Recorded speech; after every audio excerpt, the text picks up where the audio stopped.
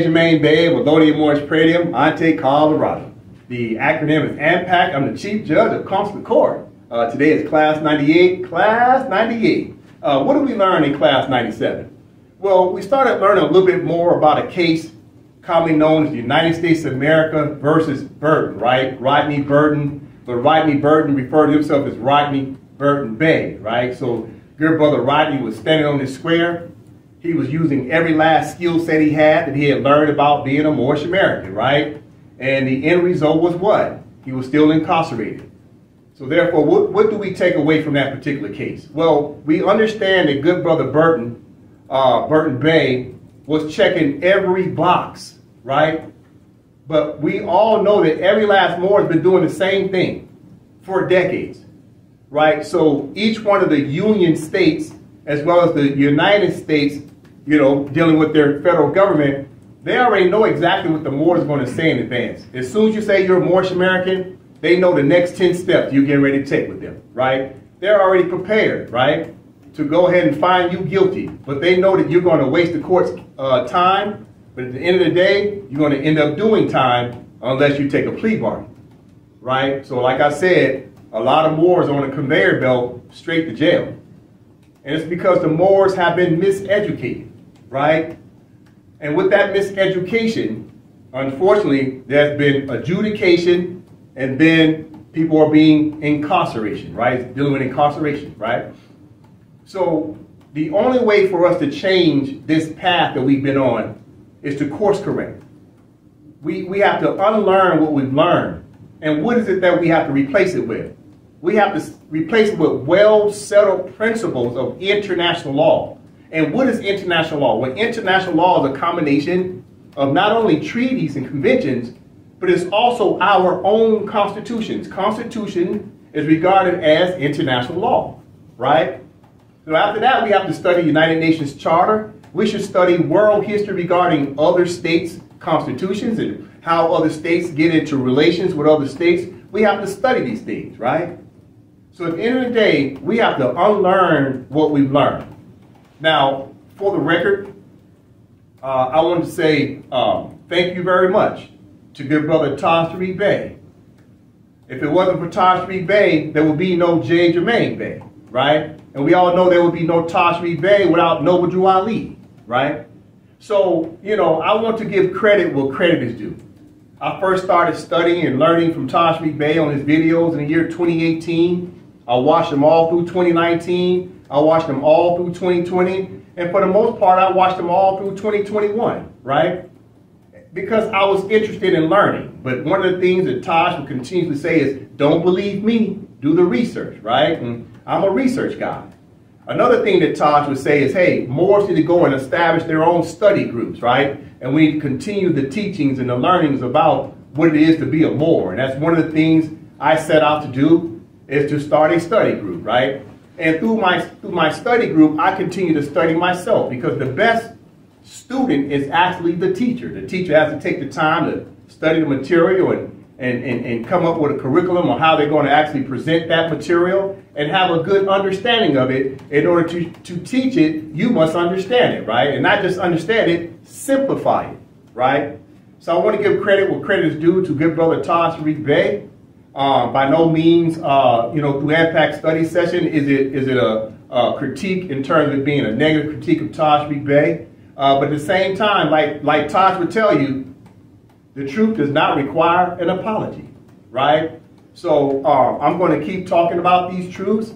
Uh, Tashreeq Bey has what 10, 20, 30 years of history that we can go back and watch his videos and start to critique what it is that he, he's taught and what he shared and what was the result, most importantly, of what it is that he taught. And unfortunately, I hate to say that a lot of Moors ended up, you know, dealing with a lot of legal disputes that found themselves losing their houses, cars.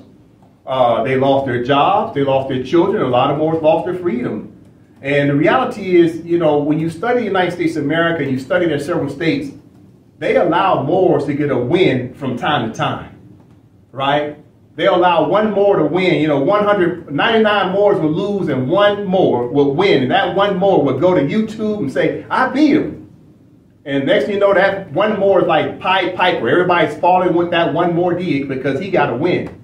It's like somebody at the gas station winning a scratch off, and the gas station puts a big sign in the window. This person won twenty-five thousand. So everybody runs that gas station because they say that's where the well, that's where everybody wins with that scratch off, right? So when you deal with the United States of America and there's several states, they allow Moors to win under what's called discretionary.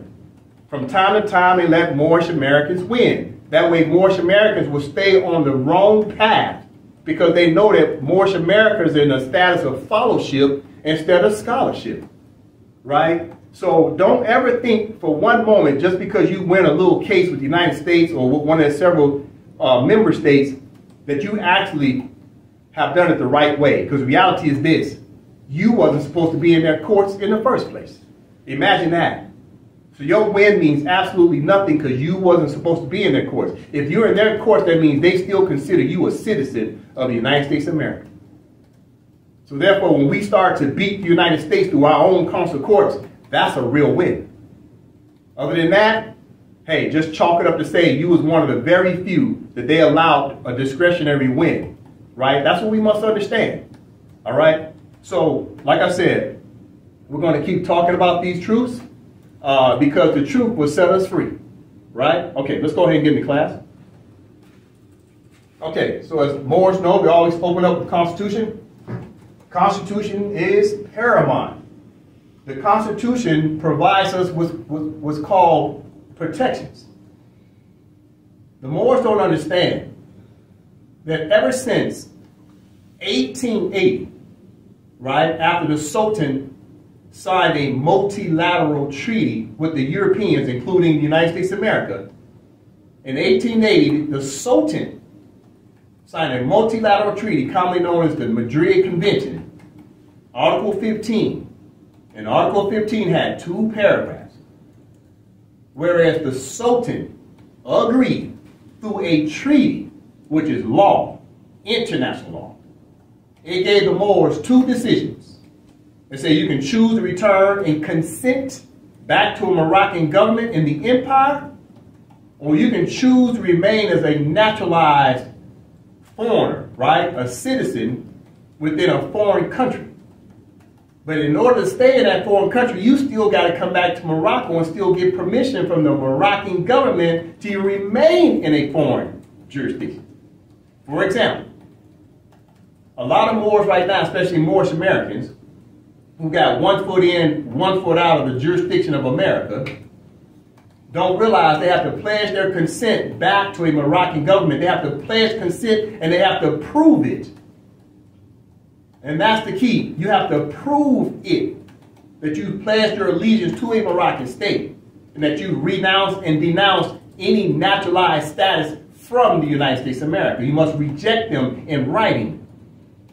And that must come from a competent state because the state's got to recognize the Moor. And then the state after that does the work on your behalf. The national, the state doesn't send the foreigners anything. Your state represents you, and the state sends it on your behalf because the state is representing you. That must be understood. So, since 1880, the Moors have not been able to prove that they have returned to Morocco, but yet they always knew something was wrong and they were always seeking, seeking a solution right? We've tried some of everything. Black Panthers, you name it. Nothing has worked. Why is that?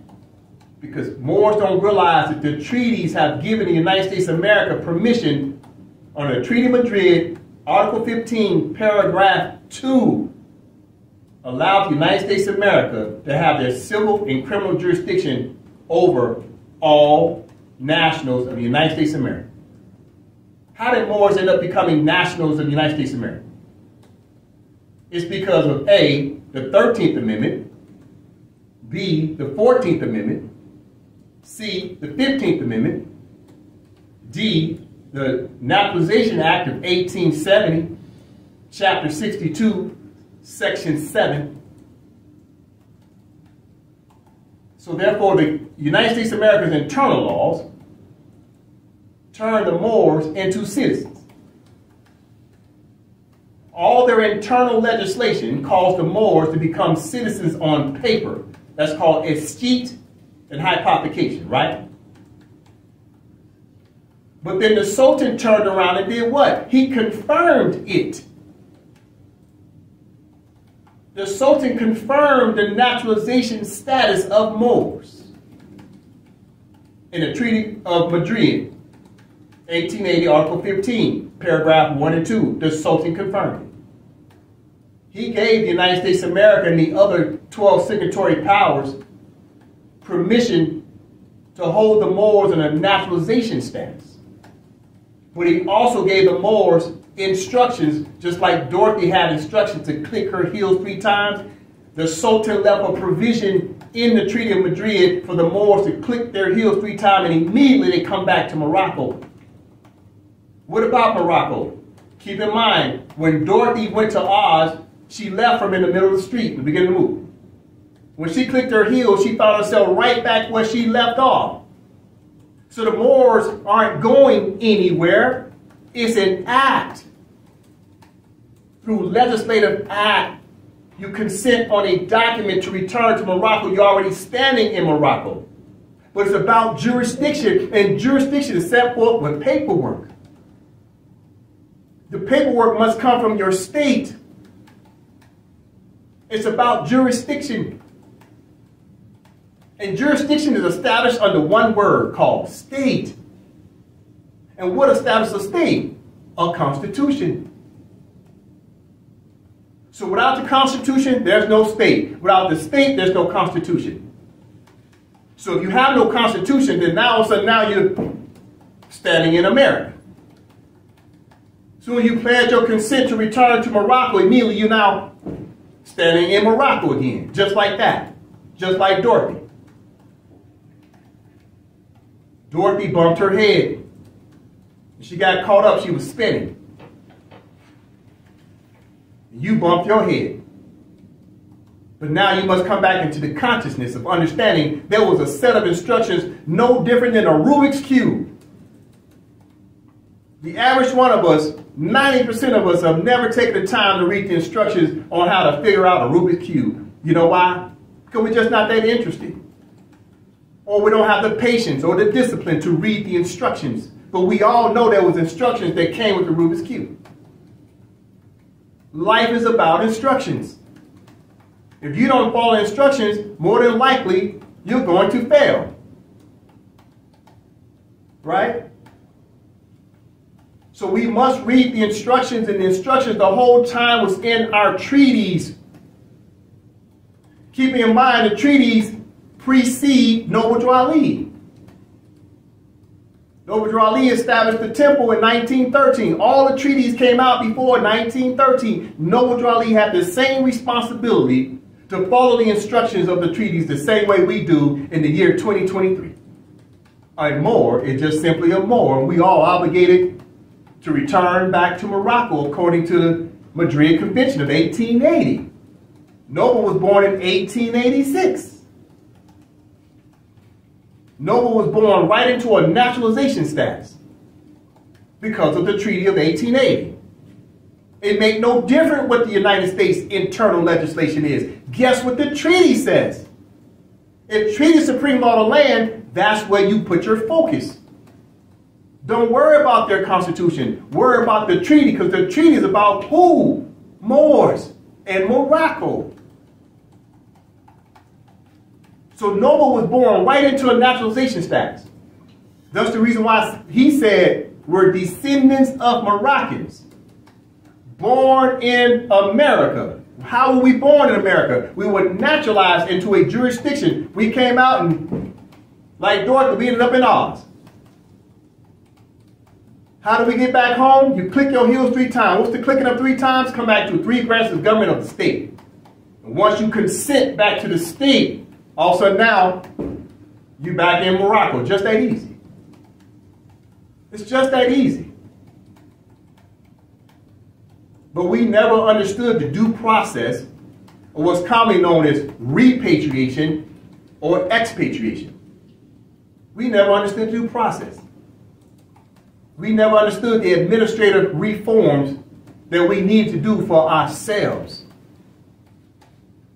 So we'll keep talking about that today, right? We'll keep pointing out our problems, then we'll point out solutions. Okay? Let's continue. Okay, so as the Moors know, we're still going over the United Nations Charter of 1945, uh, chapter 6 about the Pacific Settlement Disputes. Right now, the Moors have an internal dispute called nationality. We've got a, a, a name crisis on our hand, right? Identity crisis. We got to fix it. Well, how do we fix it? Well, we fix it with first education. But the reality is, is what is the education all about? It's about pointing out your treaties because when in doubt, pull out the treaties. And the treaties already set forth what your nationality is. But unfortunately, the Moorish American teachers did not teach us about treaties. You hardly hear Moorish American teachers going through the Act of Algeciras of 1906. You don't see them teaching about the Treaty of Madrid and its 18 articles. Why is that? If treaties supreme law of the land, why were we not studying the treaties?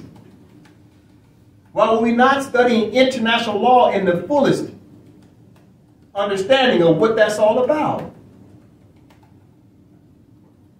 This is international law on how to deal with a dispute. And right now we got a dispute about nationality and how to declare our independence.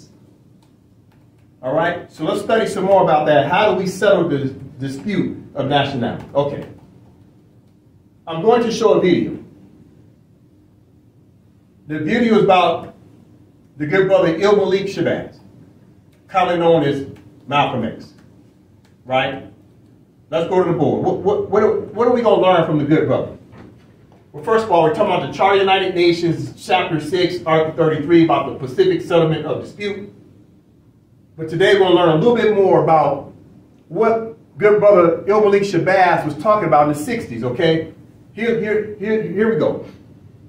El Malik Shabazz, i.e. Malcolm X, was on a path to independence and nationalism, right? Nationalism.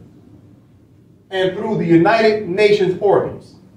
Malcolm studied Africa and China's statehood claims of independence and acts of decolonization. Let's read again. El Malik Shabazz, i.e. Malcolm X, was on a path to independence and nationalism through the United Nations organs. Malcolm studied Africa and China's statehood claims of independence and acts of decolonization. Now, do y'all think it's a coincidence that Malcolm, i.e. El Malik Shabazz, was hanging out in Egypt who else came from Egypt? Noble Ali. Right? So every time our people travel abroad, we come back brand new. Timothy Drew went to Egypt, came back Noble Ali. Malcolm X went to Egypt, came back El Malik Shabazz. Every time you go across the waters abroad, you come back with knowledge of self to understand it's about you need a declaration of independence. You need a constitution in order to decolonize.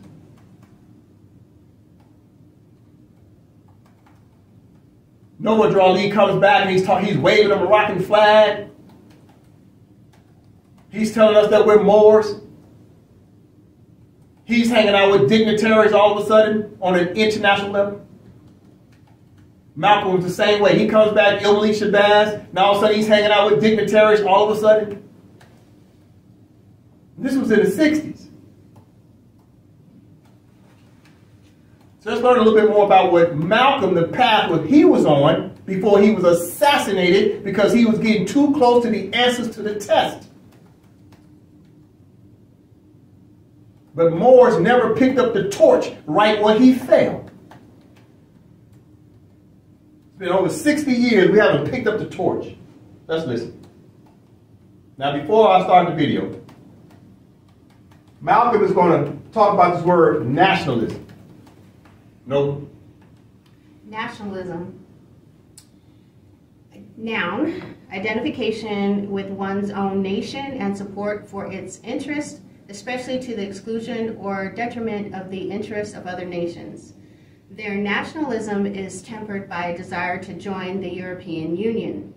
Similar are chauvinism, jingoism, flag waving, ethnocentrism, ethnocentricity, uh, advocacy of or support for the political independence of a particular nation or people, Scottish nationalism. Similar are separatism, secessionism, isolationism, sectarianism, and patriotism. All right, thank you.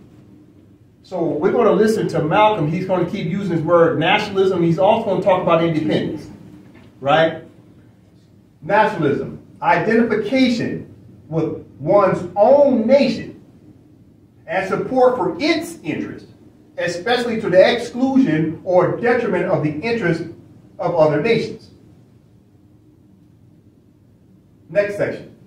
Advocacy of a support for a political independence of a particular nation or, or people. What did we learn about the word political? That means state. You need what? State independence. So nationalism, the world calls a nationalism movement. What does a nationalism movement mean? People now declaring their independence through statehood, right? And after that, they enact what? A constitution. That's what nationalism means. It's a step-by-step -step process to seek political independence. Right? Let's listen to Malcolm. So this video right here, the name of it is Malcolm X's legendary speech, the ballot or the bullet. Okay? All right. I'm going to start it at approximately the 14 minute and 30 second mark. We're going to listen to about five minutes, okay? Really pay attention.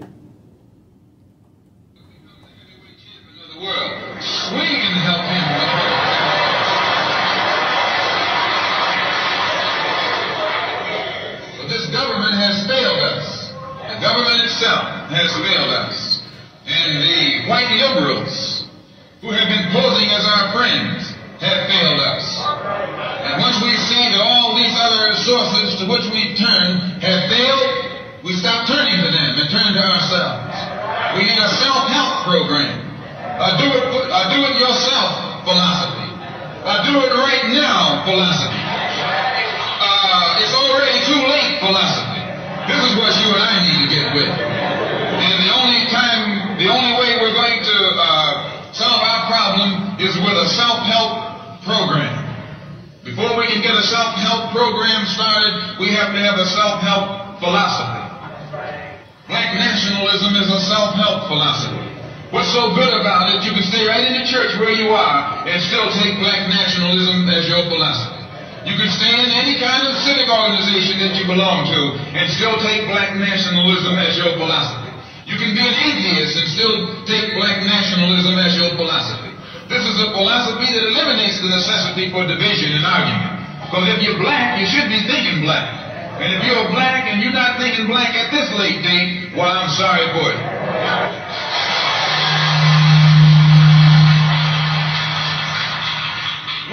Change your philosophy, you change your thought pattern. This revolutionary enzyme hack will balance your blood sugar all day long. Put one drop under your tongue after you eat, and diabetes. Once you change your thought pattern, you change your, your attitude. Once you change your attitude, it changes your behavior pattern. And then you go on into some action. As long as you got a sit-down philosophy, you'll have a sit-down thought pattern. And as long as you think that old sit-down thought, you'll be uh, in some kind of sit-down action. They'll have you sitting in everywhere. It's not so good to refer to what you're going to do as a sit-in. Then right there, castrates you. Right there, it brings you down. What, what goes with it? What think of the image of a, someone sitting? An old woman can sit. An old man can sit. A chump can sit. A coward can sit. Anything can sit. Well, you and I have been sitting long enough, and it's time today for us to start doing some standing and some fighting back there.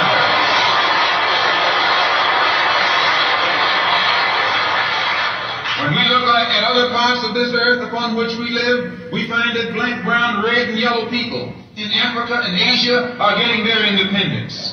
They're not getting it by singing, We Shall Overcome. No, they're getting it through nationalism. It is nationalism that brought about the independence of the people in Asia. Every nation in Asia gained its independence through the philosophy of nationalism. Every nation on the African continent that has gotten its independence brought it about through the philosophy of nationalism. And it will take black nationalism that to bring about the freedom of 22 million Afro-Americans here in this country where we have suffered colonialism for the past 400 years. Did you hear what he said? The man said this in the 60s.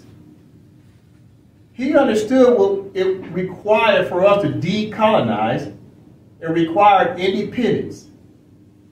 At the time that good brother Malcolm was hanging out in Africa, it was approximately 33 independent African states. And they taught him the ways of how to proclaim independence. This is why he came back with such confidence, right? When you see Malcolm with the beard, that's El Malik Shabazz. When you don't see the beard, that's Malcolm X, the black man. He left the black man behind. He consciously became more of an independent thinker, a critical thinker to understand how to uplift fallen humanity in a competent way. He understood the plight of the Africans of what they did to decolonize. He knew it wasn't about bullets. He knew it was about the pen. This is why he was on his way to the United Nations. And what have we done to pick up the torch from where he fell? Nothing. All we've done is, is written writs and affidavits. We've done everything internally where he was on his way to do something externally. What does externally mean? On an international level instead of on a civic level of dealing with civil rights. He knew about human rights on an international level. Next thing you know, he's gone. But guess who he talked to before he left? Martin Luther King. Then Martin Luther King comes out and say, yeah, you know that whole thing I did when I have a dream? Yeah, that was a nightmare. He said it. His most iconic speech, he turned around and said, that's not a dream, that's a nightmare. I've miseducated the people. He knew it. He knew it wasn't about integration. He knew it was all about nationalism he knew it was about independence. He knew it was about constitutions. If you go back and listen to Martin Luther King, he started talking about even before the Constitution was written, we was here. Before the Plymouth, Plymouth landed, we was here. He started talking out loud. Next you know, he's gone. They knew his next step was what? To pick up the torch where Malcolm left off, i.e. El Malik Shabazz. Next you know, two Kennedys are gone, all in the 60s. Why? Because they knew what Malcolm and Martin wanted to do. The Kennedys had a pen. They had power. Next you know, they're gone. Why? To stop the momentum of nationalism in Morocco. To stop the movement of independence in Morocco. You must understand, Lord, this is not a game. But you must educate yourself and educate those around you. That way, this knowledge that Malcolm tried to share with us will never, ever, ever be silenced again. We are stronger together. But we can also be very weak together as well. And we've been very weak for decades since Malcolm left and Martin left. We've been weak as a people because we've been trying to enforce civil rights and talk about enforce the Constitution. That ain't nothing but civil rights. Has nothing to do with international law. So if Malcolm knew this, and he comes back and now he's El Malik Shabazz, and he's talking about going to the United Nations to follow in the footsteps of China and the Africans. Martin knew this. The, the, the Kennedys knew this How are we going to sit here and say that our own people didn't know about this over the past 60 years, especially with the internet? A lot of our people knew the answer to the test, they just refused to enforce it. I want to say thank you to good brother El Malik Shabazz. I thank you for having courage, good brother. And I want you to know something. We will continue the good works on the path to the United Nations. That's a guarantee. So instead of us going to the United Nations and finishing the works of good brother Noble Ali and good brother El Malik Shabazz, what do we do? This is the case of United States of America versus Rodney Levon Burton Bennett. Here's what we ended up with. In 2020, the year 2021, this is what we still do. Look at what's happening here. Do you see what's happening? You see what I highlighted? It was the United States court. And then it was the United States of America as the person. So the person and the United States court. So the states, the states, the state and its representative of the court came in and prosecuted Rodney Levon Burton. They have a state. They have a court. Okay, where was Rodney Levon Burton's state? Where was his court? Where was his representatives? Because you know there was prosecutors involved with all this. Where was the Moores? Where was Rodney Levon Burton Bey's representative? Where was his consul general? Where was his minister of foreign affairs? Where was his ambassador?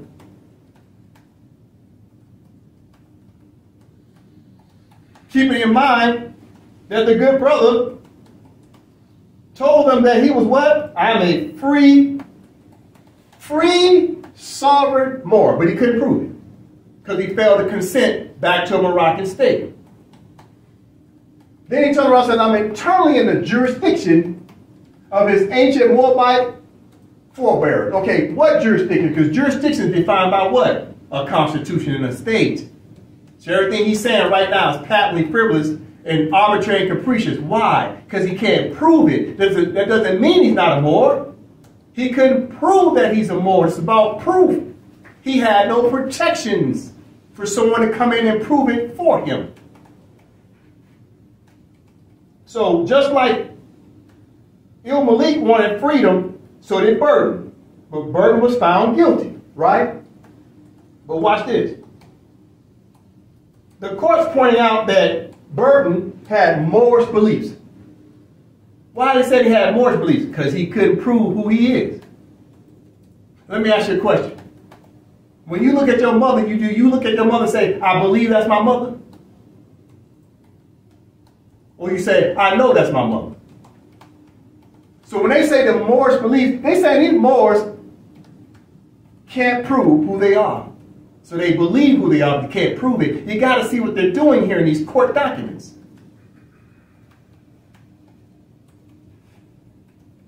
So Rodney Burton had Moorish beliefs because he couldn't prove that he was a Moor. What else? Then they turn around and say, you need to take a psych evaluation because you think you're somebody that you are not, sir. You are not Burton Bey because you can't prove it, number one. You're not a Moorish American because there's no such thing as a Moorish American, even in the treaty, because he was trying to enforce the Treaty of Peace and Friendship. He couldn't show them in the Treaty of Peace and Friendship anywhere it said Moorish American or Moorish or any type of Moorish American title whatsoever because he said he was a Moor American. Okay, where's that in the treaty? It don't exist. And the treaty said it was state on state. It was Moroccan state of the empire and the United States of America. Where was Burton's represented from the empire of Morocco? And here's what he's arguing. Here's the catch. Burton filed several affidavits with the district court arguing in part that he was not a citizen of the United States and that the court therefore lacked jurisdiction. All the Moors say this, a knee-jerk. Knee-jerk response. Okay, Burton, if I could ask him a question, since you say you're not a citizen, I got no problem with that. You can say that. Okay, prove it. Where's his constitution? Can he show a birth record from his Moroccan state? Does he have Moroccan identification? Where's the representative to come in and provide all that documentation? It don't exist.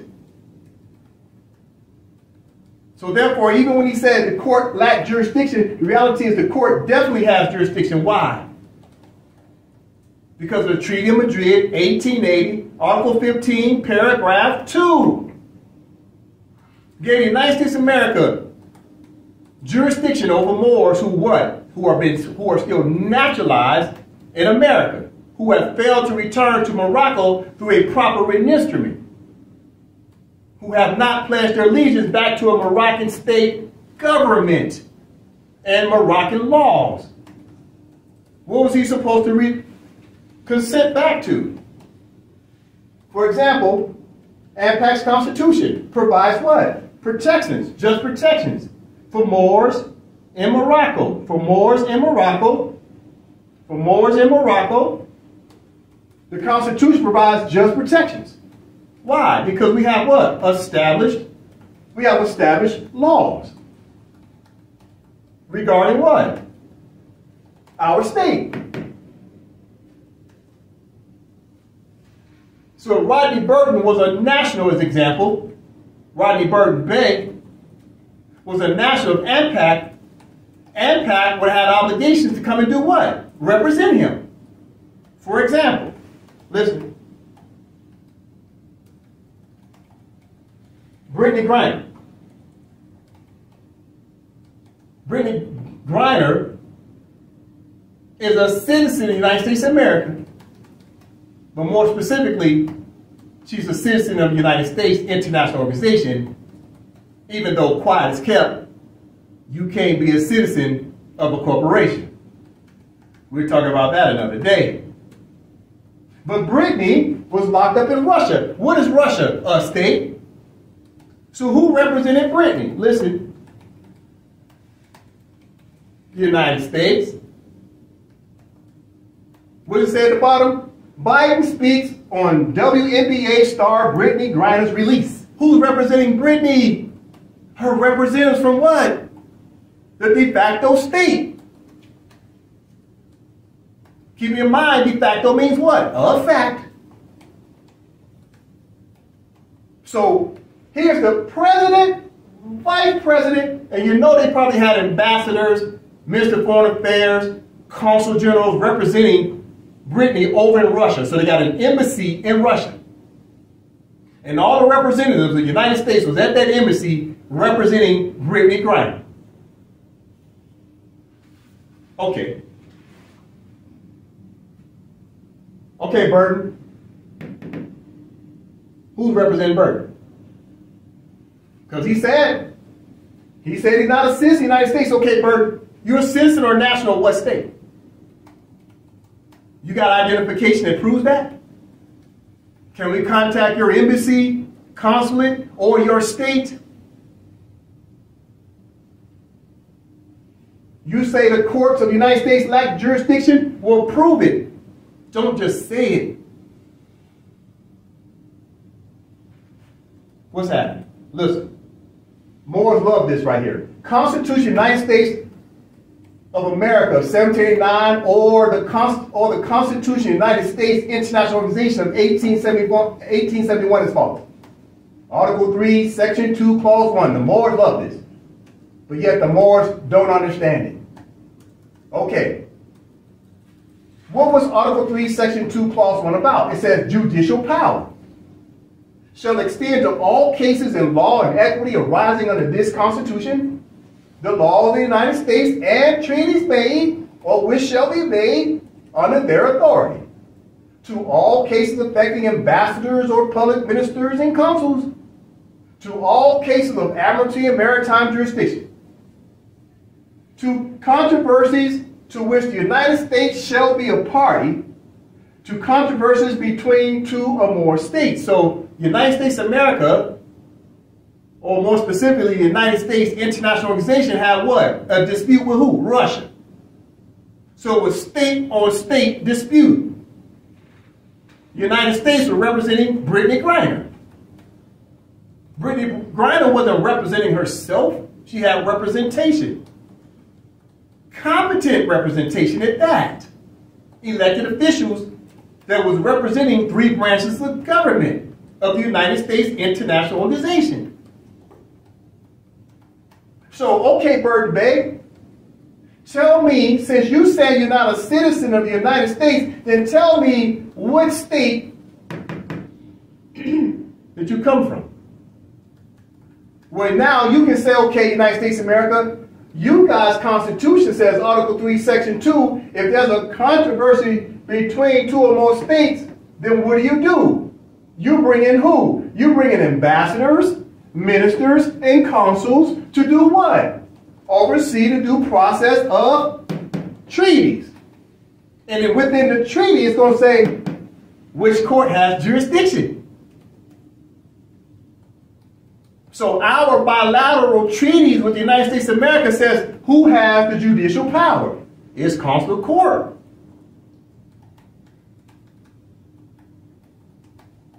So my question of burden is, tell me the name of your state, then tell me the name of the minister, consul, or ambassadors who are representing you, and then tell me what did they do next based upon the, those, those competent authority to enforce the treaties on your behalf. It don't exist. And guess what?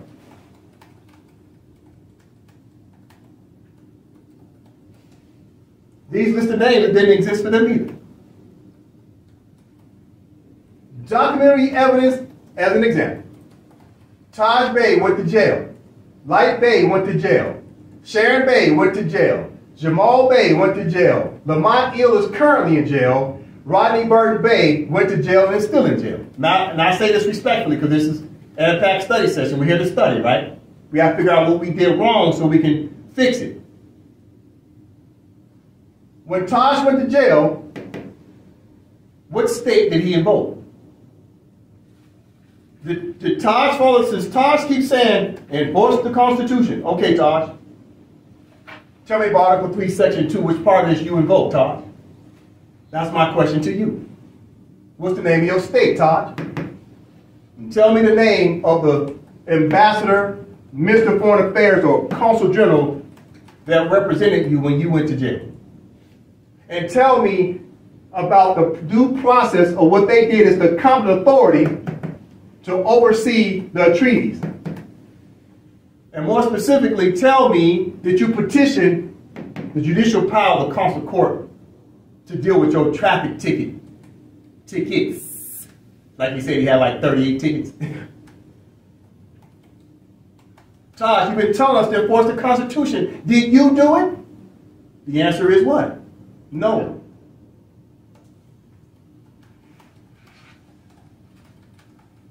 Okay. Let's look at students. Okay, did Light Bey, every time she went to jail, did she follow Article 3? Section 2, Clause 1? No. When Sharon Bey went to jail, did she follow Article 3, Section 2, Clause 1? No. When Jamal Bey went to jail, did he enforce the Constitution, Article 3, uh, Clause 2, Section 1? Or should I say Article 3, Section 2, Clause 1? Did Jamal enforce that? No. Lamont's currently in jail. Lamont said he's the Consul General. Now, wait a minute. Let's not laugh at Lamont, because guess who commissioned or gave him the confidence that he's, he can be the consul general. You know who did that? Tashmi Bey. Lamont just woke up one day and said, I'm going to be the consul general of Morocco. He, he self-appointed himself. And guess who turned around and said, that's what's up? Taj Bey. Now Lamont gets arrested, but yet true de jure consul generals have what's called privileges and immunities because they're the competent authority of their state. They can't be touched. They have qualified immunities, like a force field around them. They can't be touched. But yet, 18 sheriffs jumped on good brother Lamont El on video. And then the Moors turn around and put that video on YouTube to show the whole world that a so-called consul general got detained. Don't you know that would have been a, a, a, a violation of international law? That violates the customary norms of international law for any representative of the state that has privileges and immunities to be detained or arrested. But the United States didn't care that Lamont got locked up and it was going to be on national TV or whatever. Why? Because they know Lamont El is what? His status is patently frivolous and arbitrary and capricious. He's not the competent authority of a state. Ask Lamont, what is the name of his wazir of his state? Or prime minister or president or sultan? What's the name of the legislators of the legislative branch of his state? Who's the speaker of the House, Lamont El? What's the name of the judge of your judicial branch? Right? Because Moors keep talking about, especially good brother Lamont, and I say that respectfully, he loves to enforce the Constitution. Okay, Lamont, did you enforce the Constitution? Article 3, Section 2, Clause 1, did you do that? The answer is no. We're failing as Moors. We've delayed our own justice because we don't follow instructions. Why don't we follow instructions? Because our Moorish American teachers haven't showed us the instructions. At the same time, our Moorish American teacher said, don't believe me. Do the research. And Moors haven't been doing the research.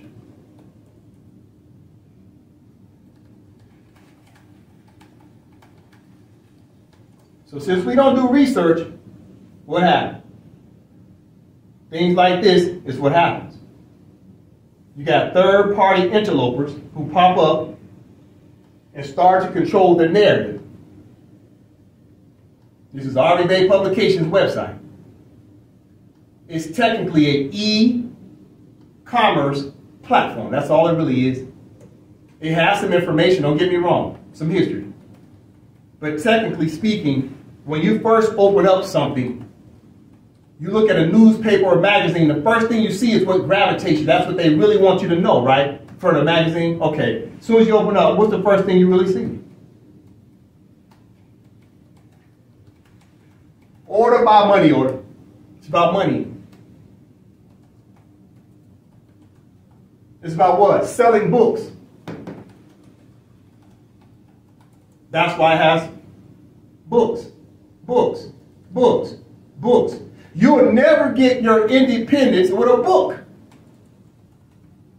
International law is free online. Go Google it. You want to know something about international law? It's free. You want to download anything from the United Nations? It's free.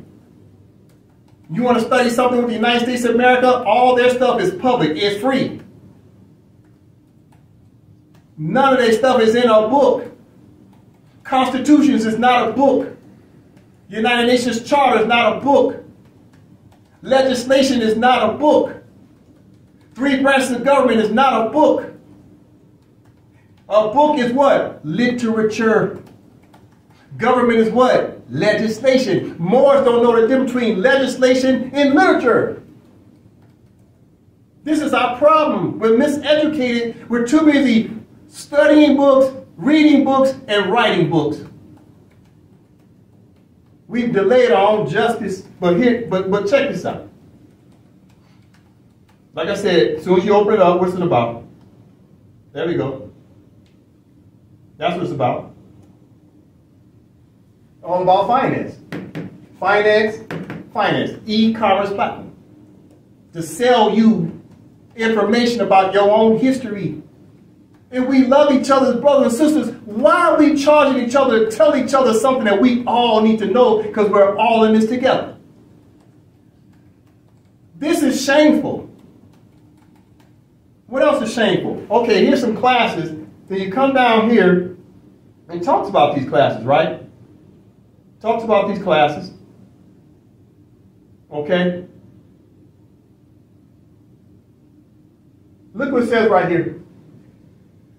After the proclamation update class on 329-23, we return to our regularly scheduled classes wherein a contribution is necessary to enter the class. See, they had done a few classes for free. Now they're going to go back to charging more again. This is shameful. You got to pay a contribution in order to enter to learn about you being a Moor, this don't make sense. When did your mother or your father or your uncle charge you to have a plate of food? You're supposed to feed each other.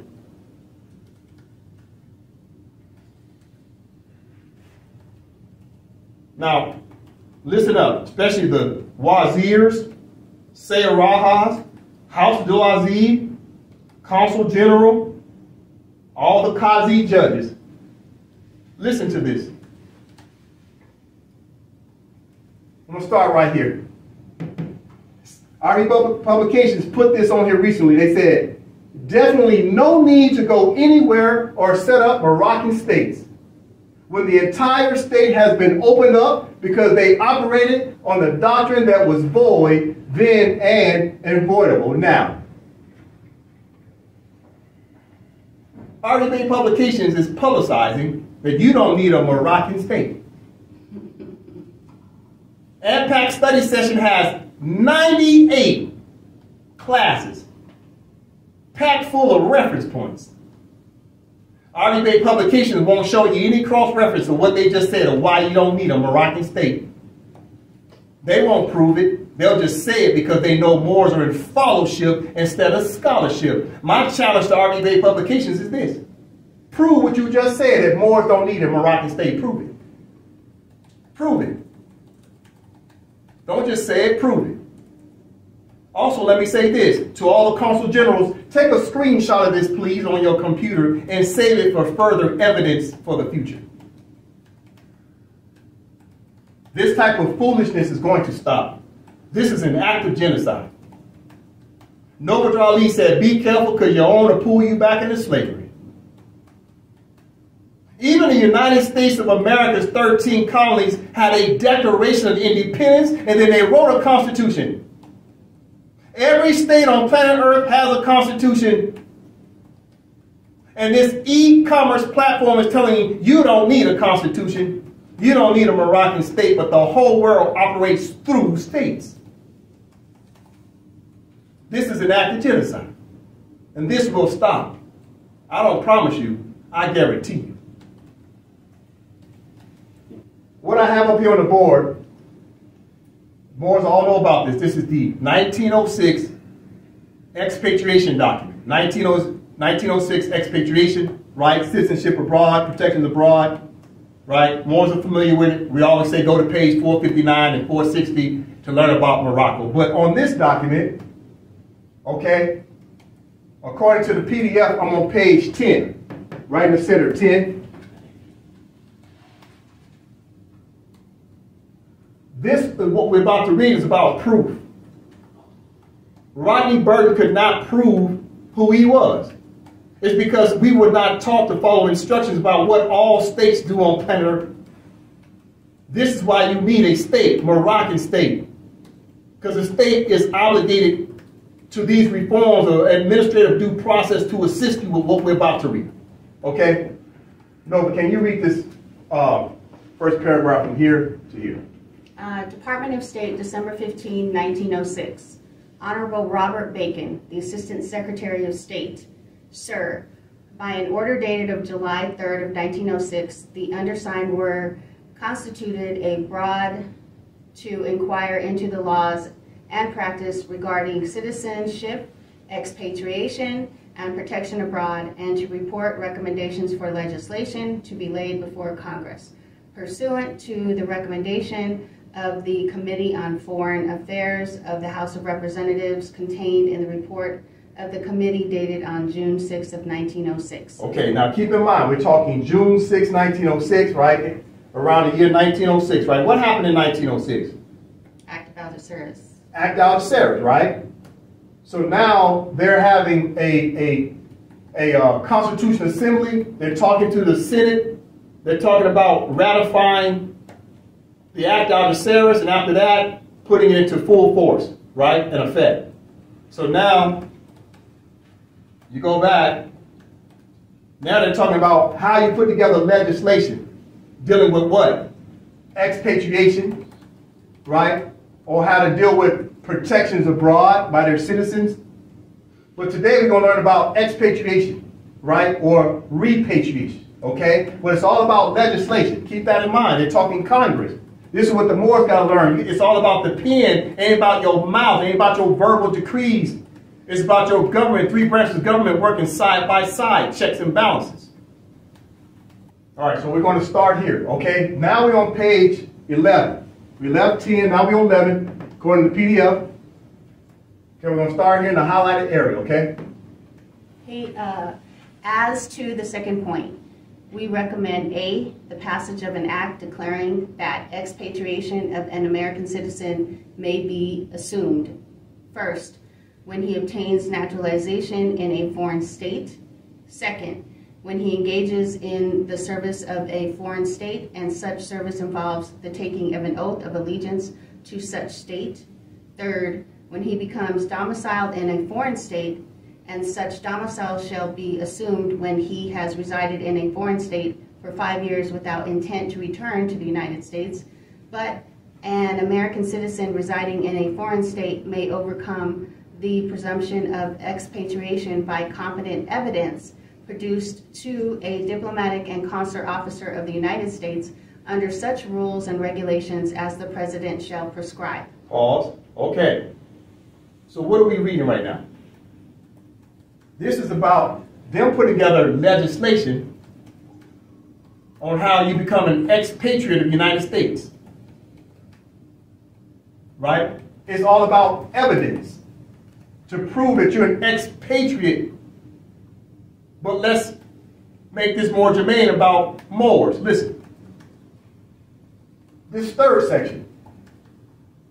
When he becomes domiciled in a foreign state, and such domicile shall be assumed when he has resided in a foreign state for five years without intent to return to the United States, but an American citizen residing in a foreign state may overcome the presumption of expatriation by competent evidence. You see the word competent? Notice how they keep using that word all the time in international law? Okay, well, what's competent evidence for Moors? To show that we've immediately returned to Morocco. Okay, now you got to show them what? Law. Isn't this what they talk about? Legislation? Law. Right? Your constitution is the first semblance your Constitution is the law of restoration, it's the law of return, it's the law of expatriation. What about expatriation? You're an expatriate of the United States of America. Now you a what? Repatriation back to Morocco. So it's expatriation from America and repatri repatriation back to Morocco. Through what? Competent written instrument. This is the competent authority. This is the competent evidence. This is what Malcolm was talking about. This is what El-Malik Shabazz was talking about. What is nationalism about? What is independence about? Constitutions. It's about a restoration. You must restore your land back to Morocco. Let's continue. So what is evidence about? Okay. Let's talk evidence. Okay. Let's talk evidence. What do the Moors need as evidence? Right? Because the United States created legislation that says people got to show evidence that they're no longer what? American. Burton could not prove that he was no longer what? American. Burton had the obligation to prove that he was what? Moroccan. Well, how do you prove that they're Moroccan? Well, you need evidence. You need proof. This is what, in this same document, now we're going to read about Morocco. The Moors have read this a thousand times, but did they truly comprehend it? Okay. This is uh, from the top, from the top. Mr. Philip chargé d'affaires to Mr. Root, Secretary of State, on August 3rd of 1906. Pause. What happened in 1906? Act of Algeciras. Act of Algeciras. Continue. American Leg- Legation, Tangier, August 3rd of 1906. Sir, There are strictly speaking no Moroccan laws relating to citizenship of Moorish subjects in Morocco. Pause.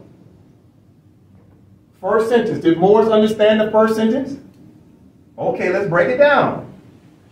Sir, there are strictly speaking, strictly, strictly, strictly speaking, no Moroccan laws relating to citizenship of more subjects in Morocco. So obviously, you need Moroccan laws in Morocco for more subjects. But what are, what what Moorish means what? Moroccan. So you need Moroccan laws in Morocco for Moroccans. How the heck do we turn into Moorish Americans if the first sentence says Moroccan laws in Morocco for Americans?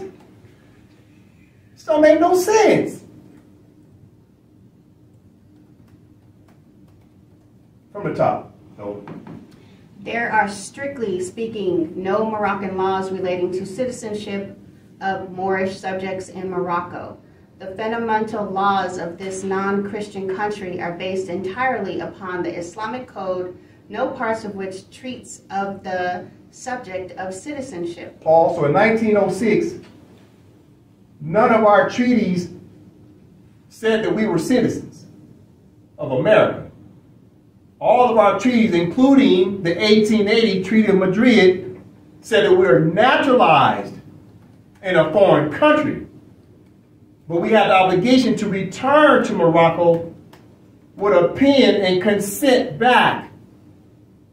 But even our own treaties never said we were citizens of the United States, United States of America. It said we were naturalized. It's a difference. It's about words more. Meaning that we was on a protectorate status of the United States of America. We got adopted. They were protecting us. Let's continue.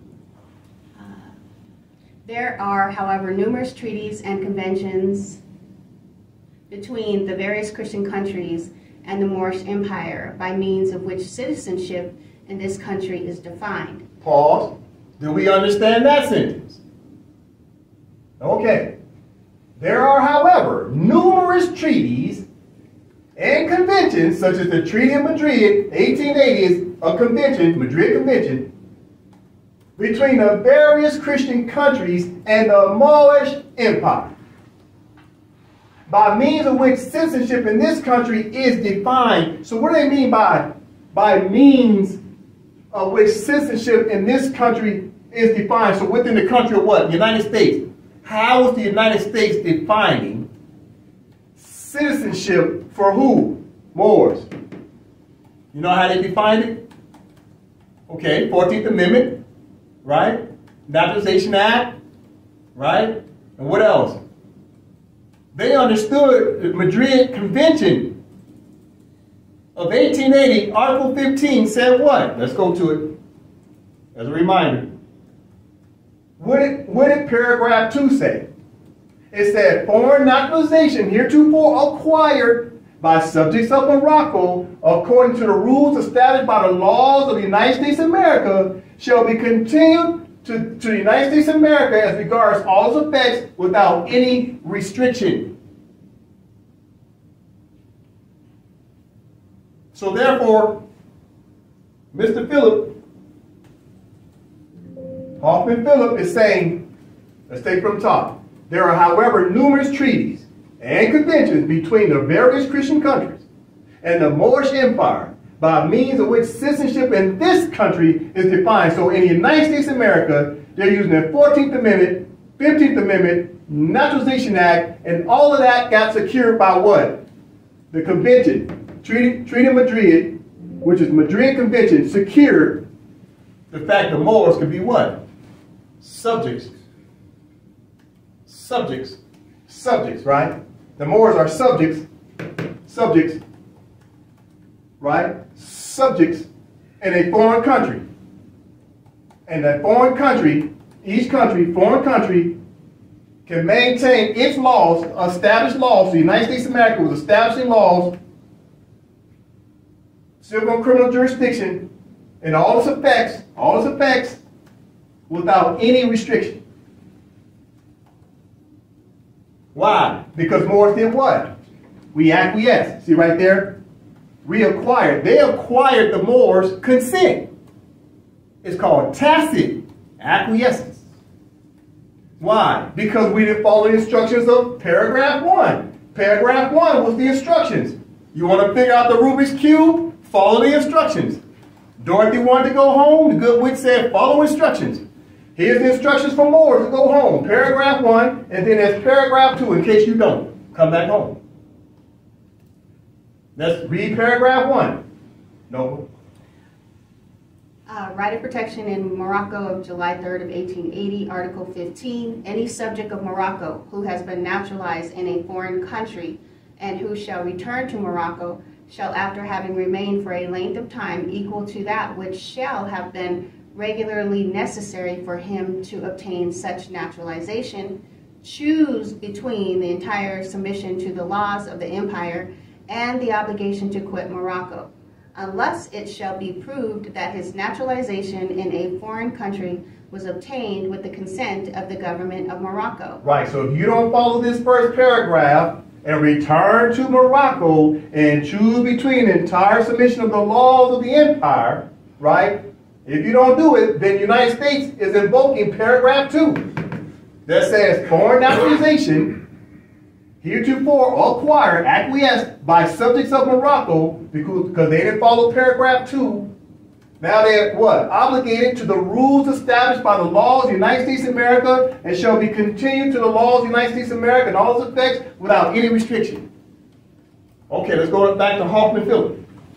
There are, however, numerous treaties and conventions between the various Christian countries and the Moorish Empire by means of which citizenship in this country is defined. So they talk about these treaties, they talk about the Convention of Madrid that defined, defined how the naturalization is being invoked against the Moors. You gotta understand this, Moors. This is the United States of America civil criminal jurisdiction over us through our own treaties that said right of protections, right? Right of protections in Morocco. Go back to the treaty, 1880. It says right of protections in Morocco. So who's protecting us in Morocco? Paragraph 2. United States of America is protecting us in Morocco. Hmm. Under their what? Laws. Their established laws. Are you seeing this, Moors? Okay, let's go back at it. Take it from top. There are, however, numerous treaties and conventions between the various Christian countries and the Moorish Empire, by means of which citizenship in this country is defined. But, as I understand from the above acknowledged instructions, that it is not the desire of the department to call for a report upon such lines. I will therefore confine these remarks to general conditions existing, which may possibly be of some use in connection with the information desired. 1. Citizenship in Morocco may be said to be governed by the laws pertaining to the same in other countries, with the exception that all persons residing in Morocco who cannot prove foreign citizenship or protection are considered ipso jure as Moorish subjects. All right. So good brother El Malik Shabazz, commonly known as Malcolm X, talked about nationalism. He talked about independence, right? He talked about Africa and China, and Africa and China established constitutions. And through those constitutions, those constitutions claimed their own. They allowed the Africans to do what? Repatriate back to being Africans instead of being slaves and colonized people of France, right? Dutch, Germany, Italy, Spain, Great Britain, and all the rest, right? So the Africans reclaimed their own. Now listen. Section 1. Citizenship in Morocco may be said to be governed by the laws pertaining to same in other countries. So listen what they said. Earlier they said there is no citizenship in Morocco. Right?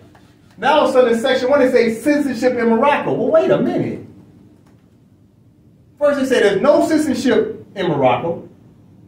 Now they're saying there's citizenship in Morocco. Well, what happened?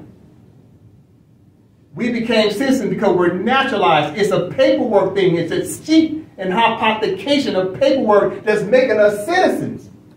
Our consanguineous Moroccans in Morocco, but we've been subjugated and naturalized in their jurisdiction because they have what? Constitutions in the state. What don't we have? Constitution in a state. So now so we're citizens of their laws. They established laws that made us citizens. Listen, section one. Citizenship in Morocco may be said to be governed by the laws pertaining to the same in other countries, with the exception that all persons residing in Morocco who cannot prove foreign citizenship or protections are considered ipso jure as Moorish subjects, right? So what are they saying? If Moors can't prove foreign citizenship, right, in a different country, let's say Moors went to Mexico and got Mexican naturalization status, Mexico would represent that Moor. Or right here, or protection. Protection by who? The Moroccan government, right? Protection by who? The Moroccan government. Treaty of Madrid, right? Article 15, paragraph 1. Now, once you make your choice, you choose between entire submission of the laws of the empire. Now, so you come under what? The protection of what? The government of Morocco. That's where you get your protections from. You understand? Okay, let's go back. So Moors have to either prove, if you cannot prove foreign citizenship or protections, then immediately you just considered an ipso jure Moor subject. And if you are considered an ipso jure, meaning a fact, a Moor subject, then guess what? Now you come back over Madrid Convention, paragraph 2 foreign naturalization hereto acquired by subjects of Morocco, Moroccan subjects, according to the rules established by the United States of America's laws, shall be continued to the United States of America regards all its effects without any restriction. Go back to Hoffman Philip. So he said, these Moors have established their own state, their Moorish government, right? They haven't do it, and they are still considered ipso jure as Moor subjects. And the United States of America still got jurisdiction over them. Section 2 and 3. No. 2 and 3. Moorish subjects lost their nationality only by becoming naturalized in or protected by another country having treaty relations with the Moorish Empire. They tell you the whole story right there. That's that easy. Moors been reading this for decades. Section 2 and 3. More subjects lost their nationality. Hmm, I wonder what their nationality is that they lost. It was Moroccan. yeah. It's Moroccan. Now they call the Moors what? Former Moors. Resolution 75 of 1933, they call the Moors former Moors. Why they call them former Moors? Because now you're just a citizen of the United States of America. They want to call you American. That's why in Resolution 75, they call you what? A speedy and thorough what? Americanization of these former Moors. Section 2 and 3. Moor subjects lost their nationality of Moroccan only by becoming naturalized and becoming Americans in or protected by now we're protected by who? United States of America. United States of America got, got what? Treaty relations with the Moors, i.e. the Moroccan Empire. But listen, then they turn around and gave the Moors the answer to the test. This is the most egregious part right here. Now they're going to tell you how we lost our nationality. Right here, no. It was it was established by the Convention of Madrid, concluded on July 3rd of 1880, as follows. Article 15. 15. Any subject of Morocco who has been naturalized in a foreign country and who shall return to Morocco shall, after having remained for a length of time equal to that which shall have been regularly necessary for him to obtain such naturalization, choose between entire submission to the laws of the empire and the obligation to quit Morocco, unless it shall be proved that his naturalization in a foreign country was obtained with the consent of the government of Morocco. Foreign naturalization heretofore acquired by subjects of Morocco according to the rules established by the laws of each country shall be continued to here Him. uh, to him Him. as as regards all its effects without any restriction. So they turn around and copy paste it and put the answer to the test right there. so these Moors lost their nationality because they're Moor subjects according to what? Treaty of Madrid. Treaty of Madrid. Article 15. They put it right in front of our faces. More than looking at this for decades. So then the Americans, right, turn around and added insult to injury. They put it right in front of our faces. Then they added insult to injury. No, The above ruling has never yet been acted upon, and should this at any time be contemplated seriously, a large number of naturalized people, American and others residing in Morocco, would be affected thereby. Pause. Are you hearing what's happening? Listen. The above ruling, what above ruling? Article 15 of Treaty of Madrid. The above ruling has never yet been enacted upon. And should this at any time be contemplated seriously by the Moors, a large number of naturalized Moors, people, naturalized people, who are the naturalized ones? Moors. They're talking about you. Americans, who are the Americans? The citizens, the United States Americans. The treaty of peace and friendship between who? Moors and Americans. So they're saying who's going to be affected? Naturalized Moors. And the Americans of the United States of America and others, who the others? Everybody who's come over here got a visa. Everybody who's naturalized, this is the Italians, everyone who comes over here, including Africans, anybody who comes to the jurisdiction of the United States of America will be affected because now Moroccan law kicks in. Let's take from the top. The above ruling has never been acted upon and should this at any time be contemplated seriously, a large number of naturalized Moors, the Americans, and others residing in Morocco. Did it say residing in America? Said residing, in Morocco, the Empire of Morocco will be affected thereby. Everybody gonna be affected. Why? Because everybody gonna come under what? The civil and criminal jurisdiction of Moorish courts. That's why. And everybody got to pay taxes to who?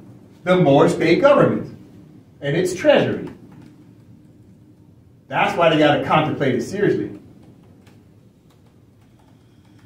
Section 4 and 5.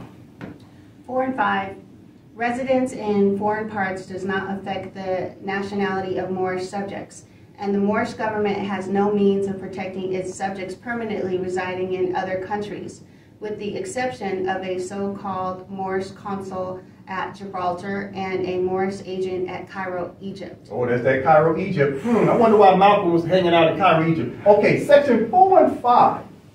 Listen, talking nationality. Residence in foreign parts does not affect the nationality of Moorish subject. Let's pause right there. You see what they use this word right here, residence? What does residence mean? A temporary stay. Dorothy was in the land of Oz temporarily. She was naturalized in Oz. Residence means temporary, like residence in, like a hotel. You're there temporarily. Section 4 and 5. Residence in a foreign part, right? Oz, I mean, Dorothy was a resident in a foreign part. And it does not affect the nationality of more subjects. What was the nationality of more subjects? Moroccans. Because it's what? Joe consanguinity. You are native to the land of Morocco. You always been Moroccans and you always been, been Moroccans. And whoever told you American is lying to you. Noble Drew Ali said we're descendants of Moroccans, naturalized in America's jurisdiction. What jurisdiction? Their state constitution jurisdiction. You're supposed to return back to your Moroccan state constitution, just like this. You're back in Morocco. You want to go back to America? Do like this. You go back to America. You get sick and tired of America? Come on back to Morocco. Guess who was doing that? Neo in the Matrix? This is a story about the Moors. Going back and forth through a portal to different jurisdictions. Section 4 and 5, residents, temporary stay in a foreign country such as the United States of America's jurisdiction does not affect the nationality of Moroccans who have been subjugated. And the Moorish government, what type of Moorish government? Moroccan government has no means of protecting its subjects permanently residing in other countries. So now they're talking about permanently residing, right? So notice they went from residency to permanent. You see their choice of words? Okay, what subjects are permanently residing in other countries? More subjects. More subjects. They're permanently. What do I mean? What makes you permanent? After five years. Yeah, After five years, just kind of stuck. Right? So what does that mean? If you fail to return to Morocco, you have permanently decided to stay in that land, in that foreign jurisdiction. It's a permanent stay. This is why you got to look up the difference between immigration with an I and immigration with an E. Immigrant with an I means you're passing through, you're resident. Immigration with an E means what? You're seeking a permanent residency. Even though those two words don't belong in the same sentence, but they call it permanent residency. That's the word they use. It's an oxymoron, but that's how they talk. You're seeking a permanent residency in another country. Now you become what? An expatriate, expat. You gotta understand what's happening. Take it from the top. Four and five. Residence in a foreign part, right? So the Moors had a temporary stay in the United States of America, does not affect the nationality of Moroccan subjects and the Moroccan government has no means of protecting its subjects permanently residing in other countries abroad, such as in the far west, that's commonly known as the United States. The Moors didn't have no way of protecting ourselves. Why? Because we didn't have our governments together over here. We got usurped. We couldn't protect ourselves.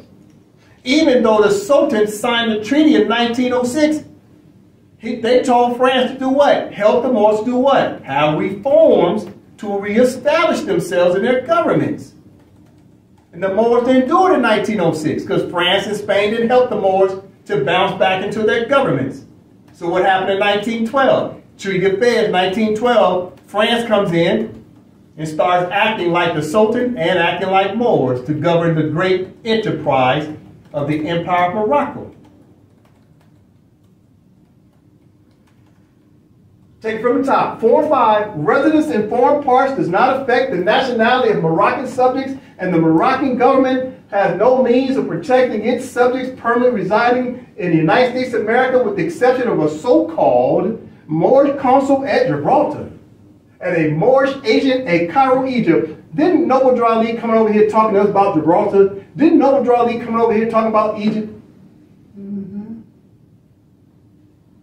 You got to understand what's happening here, Moors. The, the answer to the test been in front of our faces the whole time. Listen, we're going to read over a case. It's only four pages. What is this? Moore Science Temple of America versus New Jersey.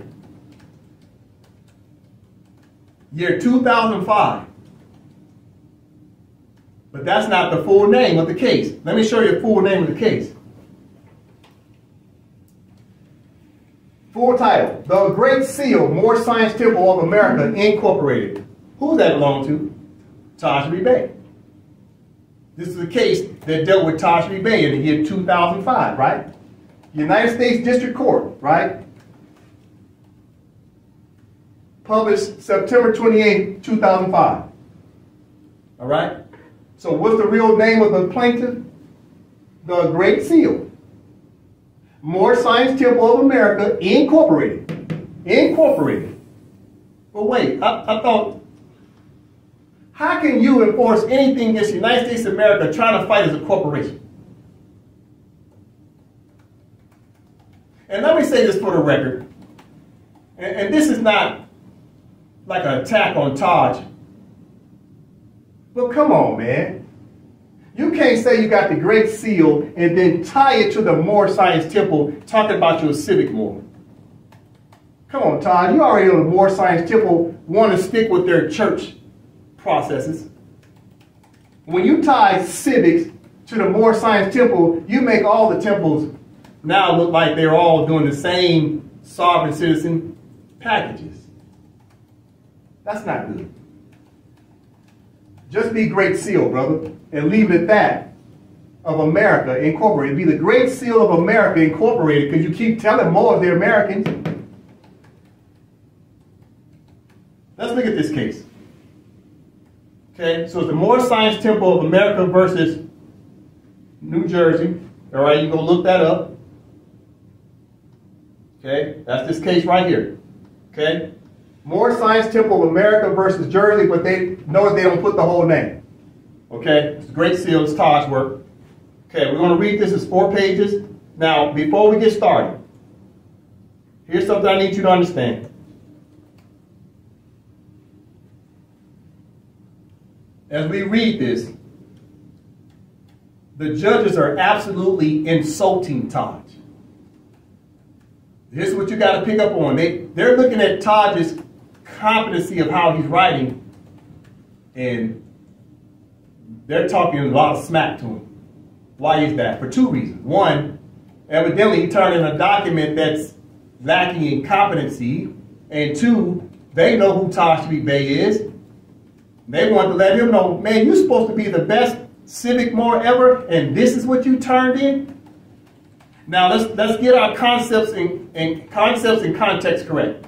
When was the Great Seal established? From our understanding, it was established what 1980. This case came out in 2005. Let's do the math.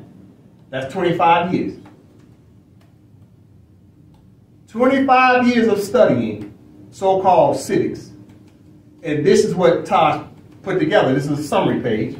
This is the judge talking. Okay, no. Memorandum and order. Gene Prater, District Judge. One, factual background. The Great Seal Moorish Science Temple of America Incorporated and other related entities, the Moors. Filed the present civil action against various defendants, inter alia, the state of New Jersey, the Asbury Park Police Department, including individual members of the police department, hereinafter collectively the Asbury defendants, and the Wall Township Police Department, including members of the police department, herein collectively the Wall defendants, arising out of incidents that allegedly occurred between some of the defendants and an individual or individuals belonging to the Moors organization representing the plaintiff here, the No. Moor.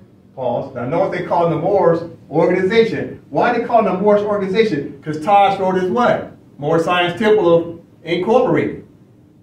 Tosh ain't claiming to be what? A part of a state. He's not claiming to be the competent authority of a state. He's trying to fight them as a corporation. 25 years he's been studying at this point. Continue. Uh, the Moore's complaint is extremely vague and the exact causes of action for which the Moors seek relief is unclear. Essentially, the complaint makes no logical sense. Inasmuch as it is a random rendition bordering on a mishmash of legalese turned into meaningless meanderings. You see what's happening? The federal court. They talking smack to Todd. It's what you call being facetious. What does facetious mean? Being serious and funny at the same time. They're smacking Todd around in this document. This is after 25 years of his studies. The federal court, this is how they're talking to him. They're daring him because they recognize that Todd don't know what he's talking about. And I say that respectfully because we got to tell the truth. Even Todd said the truth don't require no apology. And look how the federal courts are talking to him. The court said his document had no logical sense, and that his document is mishmash. What does that mean? Gibberish. It's meaningless. They said his document was absolutely meaningless. 25 years he'd been studying at that time. Okay, let's continue.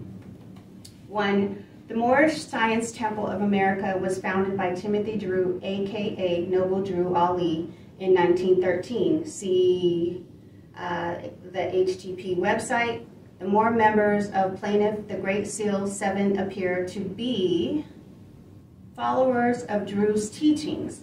Drew preached that all African Americans are of Moorish descendant or de descent and thus are not citizens of the United States. Case law.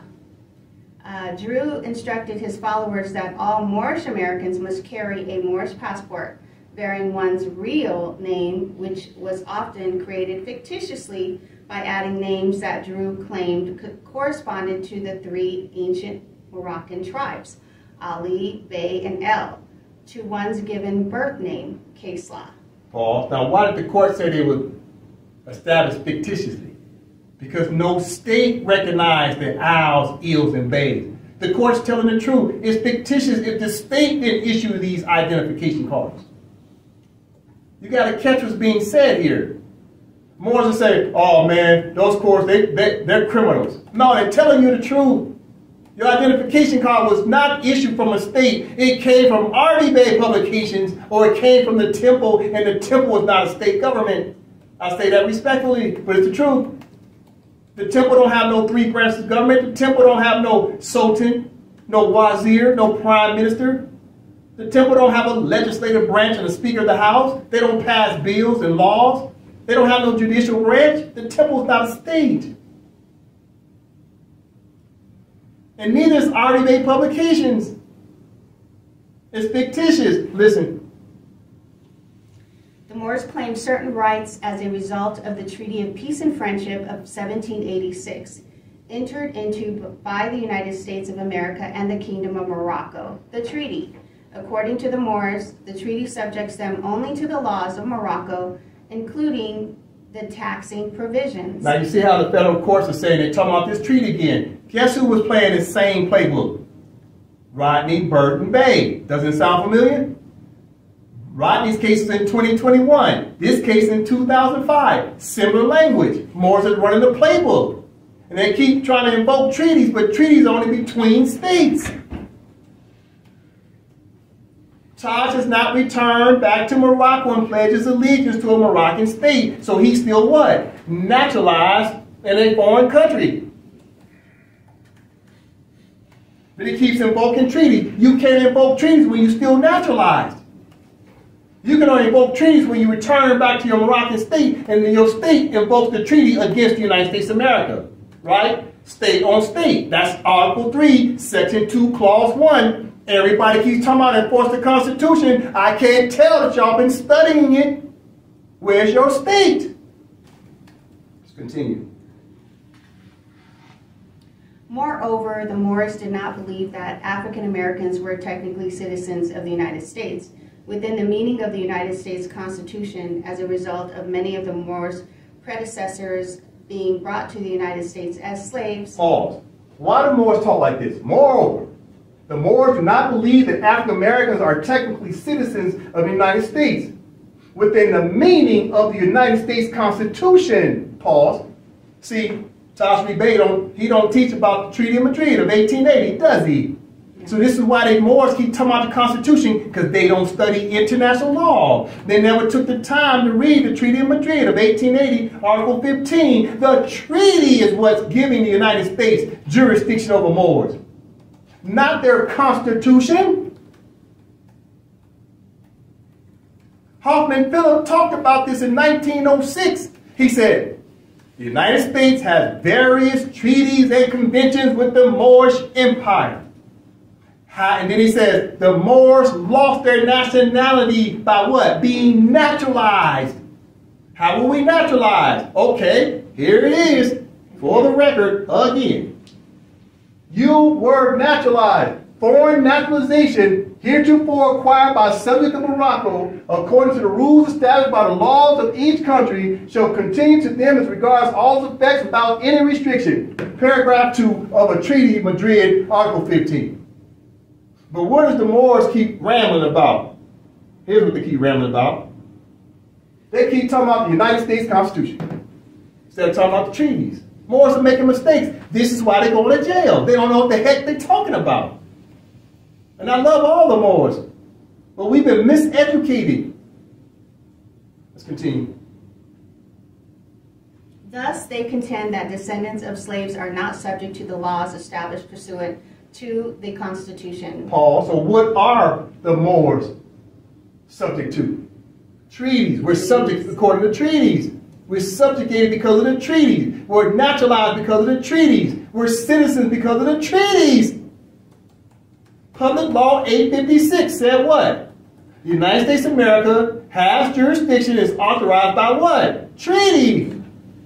Moors also believe that the Dred Scott decision, Scott versus Sandford uh, case law, stands for the proposition that African Americans are not citizens of the United States and thus the duties of citizens, including abiding by the laws of the United States and paying taxes. Pause. Look what Tariq Bey is invoking. Dred Scott case.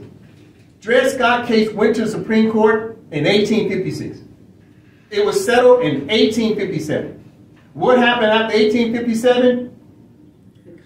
13th Amendment, 14th Amendment, 15th Amendment, Naturalization Act of 1870, and then what, what happened after that? I'll go back to it. Treaty of Madrid of 1880. treaty of Madrid, Taj. A treaty came out in 1880, Taj.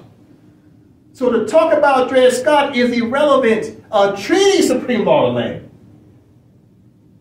So just because it said in the Dred Scott case that Dred Scott couldn't be a citizen. Now all of a sudden, Taj said no one can be a citizen because of the Dred Scott case. That's not true, Taj. The treaties giving the United States of America jurisdiction over all Moors that have what? Acquiesced. Paying taxes do not apply to African Americans. Case law. Where the defendant offered a defense that his ancestors came from Africa, Thus, he was a Moorish national required to obey only the laws mentioned in the treaty. Recently, within the jurisdiction of this circuit, Moors adherents have been convicted of creating fictitious money orders and checks that were purportedly authorized by the Department of the Treasury and the Department of Transportation. Case law. The defendant convicted of trying to pass fake Department of Treasury checks for $25 million, case law, United States versus Harris. Defendants in southern New Jersey created thousands of fictitious money orders for more than $50 million in alleged scam victimizing banks, utilities, lenders, and a casino. Case law. Unfortunately, all of the Moore's filings in this case were virtually unintelligible. You see that?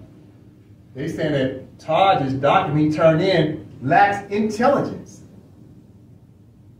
That's a huge slap in the face. Someone who's been studying for 25 years. Look how they're coming at Taj. They know Taj is what? Stateless. They know Taj is what? A Moor subject. They know Taj is what? Naturalized. They know Taj is still a citizen of the United States, and Taj Bey comes under the civil and criminal jurisdiction of the United States of America. That's why they're talking to him like this. The allegations in the complaint seem to stem from the impounding of a vehicle allegedly owned by an individual with the given name of Lee Sean Quote, aka Lord Noble Nature El Bey. While the complaint fails to comport with anything approaching standard pleading procedures and contains no references to an individual plaintiff or discrete actions causing harm or damage, plaintiffs appear to allege violations of federal law, among other things, violations of civil rights, racketeering, kidnapping, conspiracy, and high treason. Pause. Taj Bey said that Moors are not citizens of the United States of America. Then why does Taj keep teaching everybody to enforce the Constitution? How can you say the United States of America, who is citizens of the United States of America, are violating your rights as a Moor of a separate jurisdiction? You gotta understand what I'm saying. Moors are saying, I'm not a citizen so they said, I'm over here out of that jurisdiction, but yet keep invoking the laws of the United States of America to tell the United States of America, you violating my rights. Even though your right's supposed to be of Morocco. And you keep jumping over here in America, telling America, you better do what I tell you, but oh, by the way, I'm not in your jurisdiction. But since I don't have my own state and I don't have my own laws, I don't have my own judge, I don't have my own prime minister, I don't have my own speaker of the House and legislative branch, I'm going to keep trying to enforce your laws and tell you how to treat me.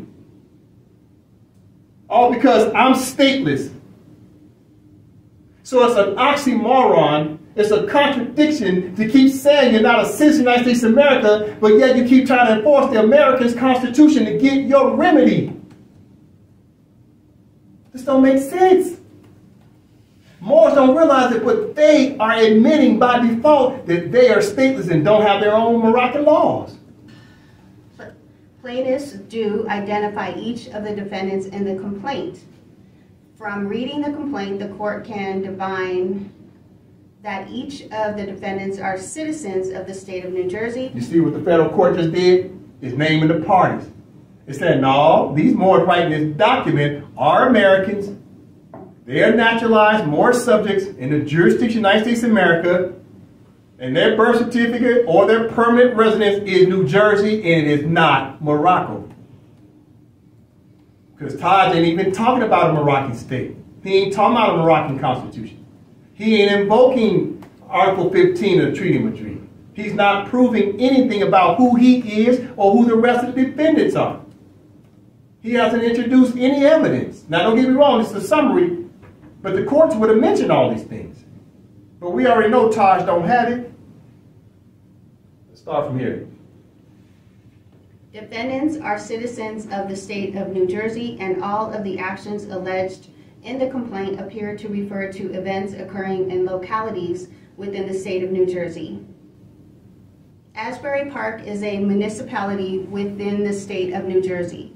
Wall Township also is a municipality within the state of New Jersey. Because of the nearly unintelligible nature of the verbiage contained in the complaint, the causes of action that the Moors attempt to bring or assert are not apparent. Nevertheless, it appears from the face of the complaint and a plain reading of it that no defendant is a citizen of Pennsylvania and none of the alleged acts took place within the Eastern District of Pennsylvania. All right, so once again, they're insulting Taj, right? Unintelligible nature of the verbiage. The court is saying, man, we can't even understand what the heck he's talking about. It lacks in competency. You claiming not to be a citizen of the United States of America, then why don't you write like a dignitary of a foreign state? How would a dignitary deal with what's called the Vienna Convention on Consular Relations of 1963? How would a Minister of Foreign Affairs write? How would a Consul General write? How would an ambassador write, right? Listen. Isn't this what the Moors keep talking about? Enforce the Constitution. Okay, how would an ambassador write of Article 3, Section 2, Clause 1? How would a Minister of Foreign Affairs write of Article 3, Section 2, Clause 1? How would a Consul General write of Article 3, Section 2, Clause 1? This is why the court is clowning Taj. They're saying, man, the way you wrote it, we can't even understand what you're talking about. You don't write like a dignitary.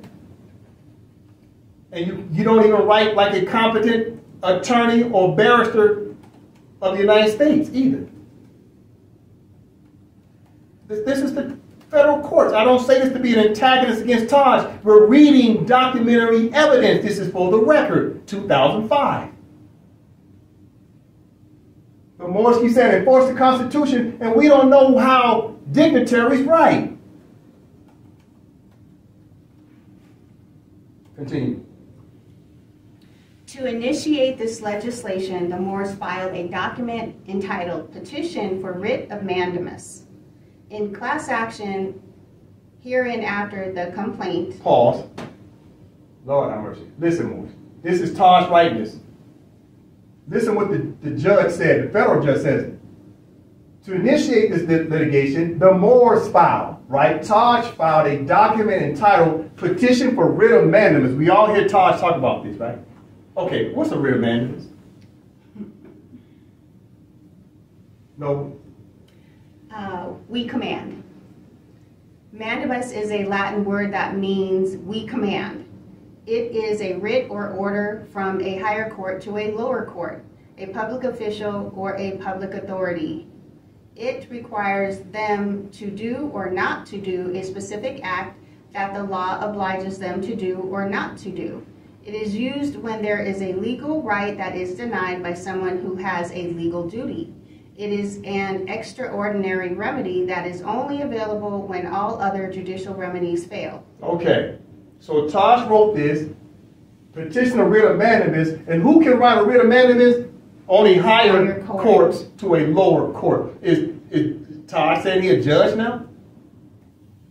But Taj taught all the Moors to write this like all the Moors are judges. This is why they, through REBA publication, they put the word judicial notice. Everybody's a judge, huh? Well, I can't wait to see all those public inaugurations of all those judges that took their oath to the state. That's going to be thousands of them. Because everybody's a judge. Ain't nobody the prime minister. Nobody's the legislative branch. Everybody's a judge, including Taj. Taj wrote this. This is why the court's laughing at him. They said this man don't know what he's talking about. He, he's not the competent authority of the state. Okay, let's go back to Article 3. Article 3 says what? Article 3, Section 2, Clause 1. More saying, was the Constitution. It says the judicial power. It's talking about judicial power in Article 3. Okay, then here comes Taj. He's trying to use judicial power, petition or writ of mandamus, and he's not a judge. That's absolute incompetency. And tell you the truth, it's fraud. It's impersonating a public official. This is why the judge is talking to him like this. Now it's about to, it's about to disclose who wrote this document. The Asbury Park Police Department thereafter filed a motion to dismiss.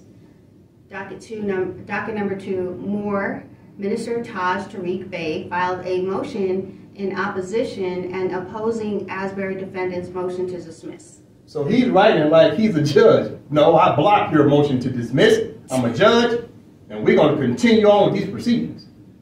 This is why this judge is clowning Taj. Continue.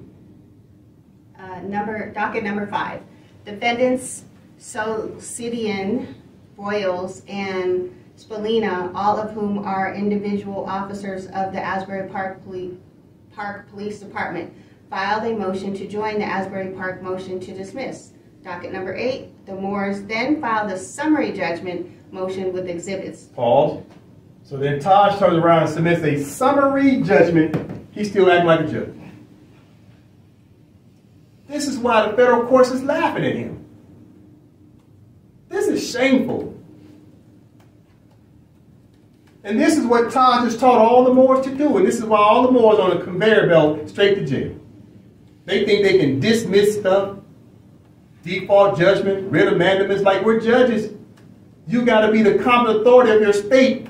You got to be elected judge by your state. In order to have a state, you got to have to have a constitution, and that constitution has to be ratified, deposited, and promulgated in accordance to international law. And then you must accede to treaties and become a party to the treaties in order to enforce said treaties. And those treaties have to be deposited with who? The United Nations, and according to Article 102, to let them know you become a party to the treaties. You can't talk about treaties unless you become a party to it. Tasherit Bay is not a party to the treaties. Why do I say that? Because only a state can be a party to the treaties. Then the competent authority of the state can enforce the treaty through the state. Taj is not a judge. This is why Morris is going to jail because of these false teachings. Uh, docket 10, docket number 10, the Walt defendants filed a motion to dismiss for lack of jurisdiction. Pause. Now they're filing a, a document for lack of jurisdiction to dismiss. You can't do that unless you're a judge. Docket number 12, finally, the Moores filed Amendment 9 complaint at law. Pause. What's Amendment 9? What is Amendment 9? Taj is invoking the United States of America's Amendment 9, but he says he's not a citizen of the United States of America. Then why are you trying to use their Constitution? But while we're talking about it, what's Amendment 9? The Ninth Amendment, simplified, is that the federal government doesn't own the rights that are not listed in the Constitution. But instead they belong to citizens. Pause. But he said he's not a citizen of the United States. But right here, Article 9 is about what? The Ninth Amendment, simplified, is that the federal government does not own the rights that are not listed in the Constitution, but instead they belong to the citizens. But Taj, you say you're not a citizen. While simultaneously trying to invoke Amendment number 9 as if you're what? Citizen. This is a contradiction, and this is why the judge is clowning him. And this is what RV Publications and unfortunately good brother Toshby Bay is teaching Moors.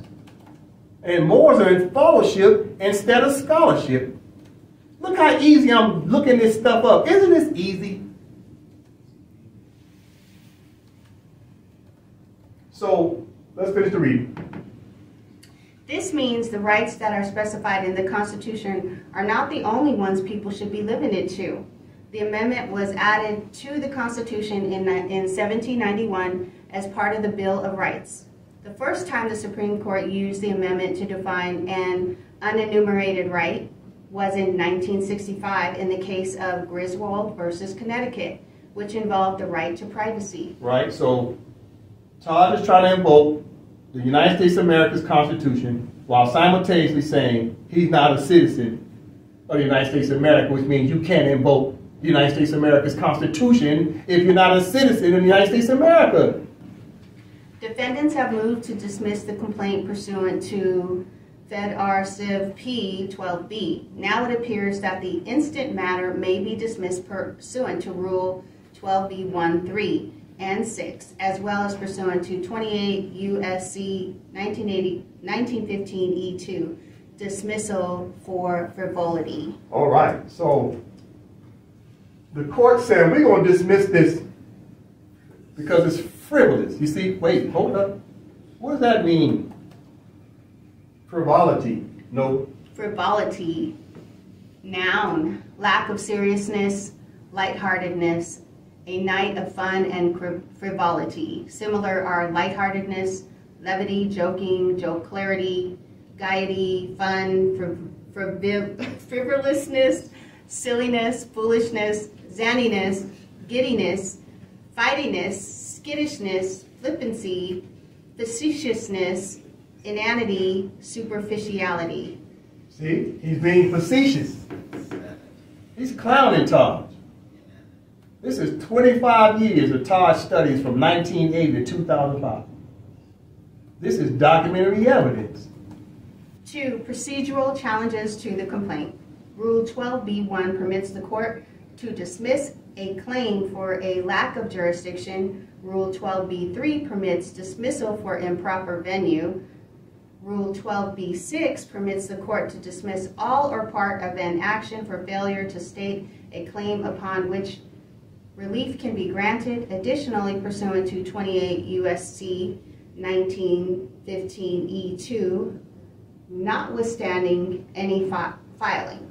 A civil action wherein jurisdiction is not found solely on diversity of citizenship may, except as otherwise provided by law, be brought only in one, a jurisdiction or judicial court where any defendant resides, if all defendants reside in the same state. Two, judicial district in which a substantial part of the events or omissions giving rise to the claim occurred, or a substantial part of property that is subject to the action is situated, or three, a judicial district in which any defendant may be found if there is no district in which the action may otherwise be brought. Here, using the framework of section 1391B, it is clear that no defendant resides in this judicial district. Two, neither the events nor omissions giving rise to the allegations nor any property involved in the instant dispute occurred or exists within the judicial district. And three, none of the defendants can be found in this judicial district.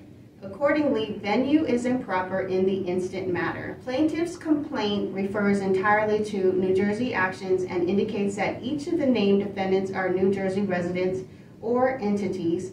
Plaintiff's complaint is devoid of any factual or legal basis that connects it to Pennsylvania. Based on these uncontroverted considerations, all of which emanate from plaintiff's own filings. Defendants have met their burden of proving that venue is improper case law. The court finds nothing in the complaint to be merit transfer to the District of New Jersey rather than outright dismissal of the action. Therefore, this matter shall be dismissed pursuant to Rule 12b1, 3, and 6, 28 U.S.C. 1391b, and 28 U.S.C. 1406a. Because the court has decided that it is without jurisdiction to hear the merits of the case, the court declines to consider the Moore's motion for summary judgment, which is as unintelligible as their other filings. For a conclusion, venue is improper in this court and in violation of 28 U.S.C. 1391b. There are no facts that would support finding either jurisdiction or venue in this court. Additionally, the Moore's motion for summary judgment is denied inasmuch as it is not only appears without merit, but because the language constraint contained therein is unfocused and unintelligible. Finally, because the complaint appears both frivolous, unintelligible, and without merit, this entire matter is dismissed with prejudice pursuant to 28 U.S.C. 1915 E2. Boy, they talking big smack talk. 1980 to the year 2005, 25 years of studying so-called civics, and this is how the federal courts is talking to him. This is shameful, and I, and I tell you truth, I feel bad for Taj. I'm sure when he, he received this in 2005, they, they smacked him up so bad, he just he just had to bow his head and dip.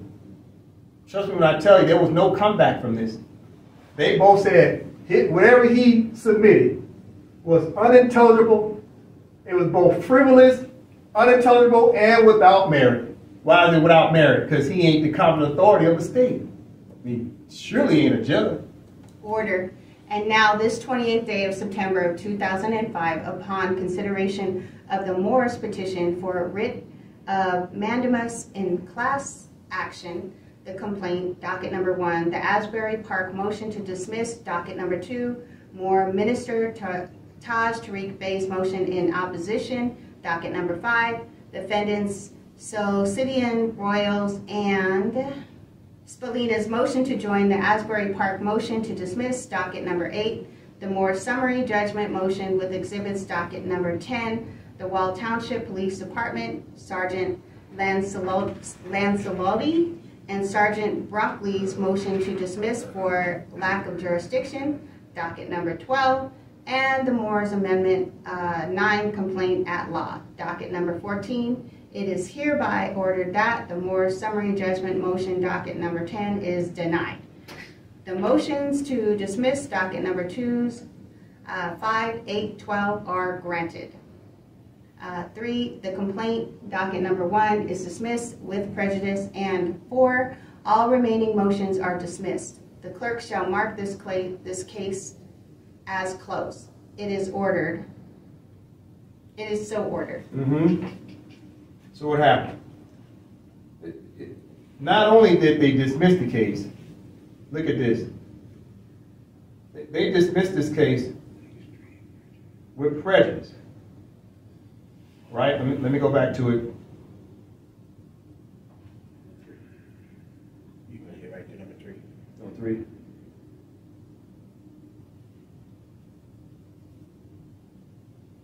They dismiss it with prejudice. Number three, the complaint docket number one is dismissed with prejudice. Do more know what that means with prejudice?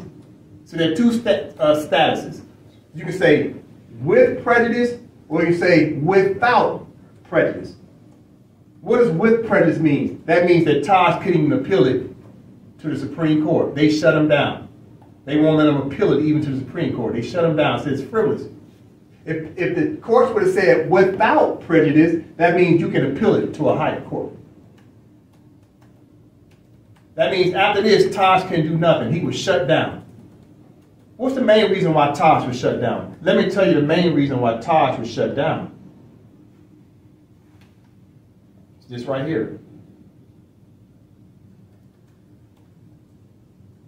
Moorish Science Temple America is really what? Corporation. Taj wasn't affiliated with a state. The feds couldn't have talked to him like that if he was a state representative. Because immediately, if he was a state representative of a Moroccan state, guess what Taj would have been invoking? He would have been invoking this right here. To, contra- con- to con- controversies between two or more. Then he would have invoke what? He would have been what? The ambassador, public minister, or consul, or maybe even the judicial power to have authority over the treaties to settle the case. But he was none of the above. And all the Moors think they can walk in the footsteps of Tashreeq Bey, and you're walking right into the same thing he walked into, which is judges laughing at you. Which means they're laughing at all of us because all the Moors in this together. How they treat Taj is how they're treating us. And we're all in this together. We're all brothers and sisters. We're all in this together. So even though it may look like I'm being condescending towards Taj, but the reality is I'm not. I feel sorry for the good brother. He's been trying his hardest. But unfortunately, Taj is miseducated. And he's miseducating the rest of us. And that has created negligence and punitive damages. Now keep in mind, this, that whole case was about what? Somebody's car got towed or something. And the feds just came in and just slapped Taj up and said, you the best that the Moors got to offer? That's sad. I feel sorry for you, good brother. But we're going to fix this, good brother Taj. We're going to fix it. All right, as I start to close out, keep in mind what I have up on the board. This is what Taj should be teaching right here. Taj had an issue he, he was trying to settle a dispute, right?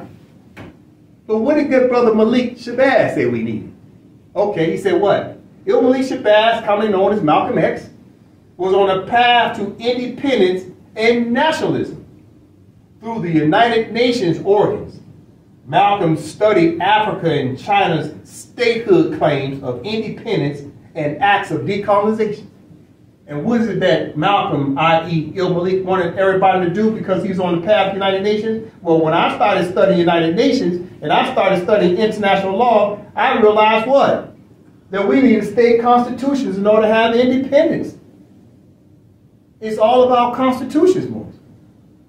That way you can be the competent authority of your state. And then your state becomes your representative. We have three branches of government in AMPAC as an example. So I say to good brother Tashreeq Bey, I extend my hand in fellowship to you, good brother. We got to change the education of the Moroccan Empire. It's time for you to course correct, good brother. I, I love you. I, I, I, have both arms out to you.